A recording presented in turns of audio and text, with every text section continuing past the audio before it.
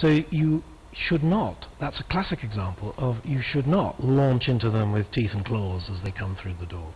You want mm-hmm. to prepare the ground for that, because the one thing you don't want to do is invite a denial.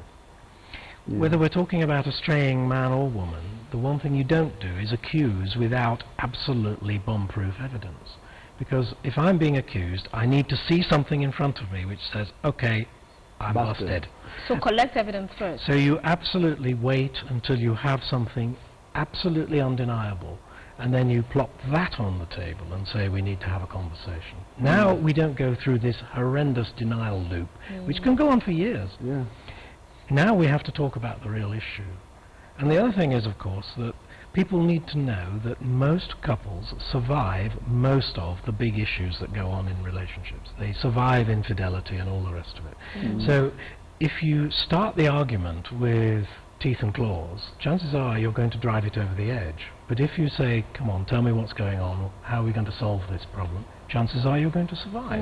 So, uh, how you approach the argument is going to make a big difference. can make a difference. As we bring this to a close, what must we remember, everyone? Because we're, even if it's not marriage, relationship type of uh, relationship, it's um, work or whatever else we are, there will be conflict as long as they're two human beings because we're Sure. different. Yeah, uh, the, the, the, the, minute you're in a marriage, especially, if, um, if it's not a relationship which you can transit from, the marriage is permanent.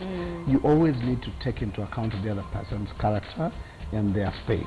Because most times when we fight, you forget that this is also a human being who you met 25 years into their life. They had been alive without you.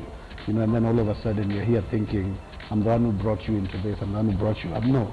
The, the, west, the best way to escape that scenario is to imagine that you're individuals mm. and that you met up 20 years into your life or 25 years, and so therefore you work on it from there. Yeah, and, and usually when you're doing this, you must always make cognizance of the fact that there, there's room for mistakes. Every human being is to err. You make a mistake, Yeah. and you have to live with it and just correct it and get better. All right, finally. Yeah, but the most important thing is to be a team. Mm. Stop thinking as an individual. Stop thinking as a single person. Always, you know, looking for the edge.